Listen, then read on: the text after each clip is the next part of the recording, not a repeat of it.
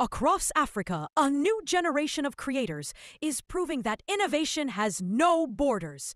Young engineers in Kenya, Ghana, Rwanda, and Nigeria are building AI powered robots using local parts, local skills, and local brilliance. These robots assist in farming, protect communities, and support daily work, making life easier and more productive for millions. This new wave of African technology sends a clear message to the world. Africa does not wait for opportunity. Africa builds its own.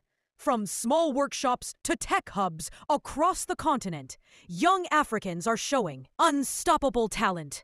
My brothers and sisters, this is only the beginning.